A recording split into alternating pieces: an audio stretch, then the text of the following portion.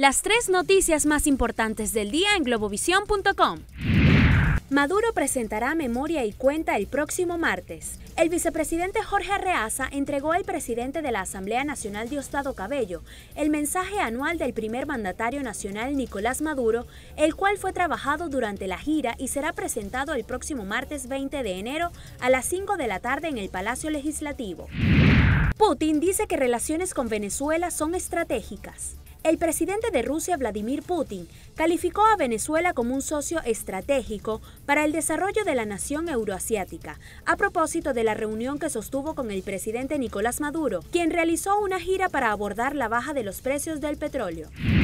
Detenidos 17 trabajadores de Abasto Bicentenario por expendio clandestino de producto. El Ministerio Público imputará en las próximas horas ante un tribunal de control al gerente y a la supervisora del Abasto Bicentenario de Ciudad Bolívar por su presunta vinculación con el expendio clandestino de artículos de primera necesidad. Para más información ingresa a globovisión.com.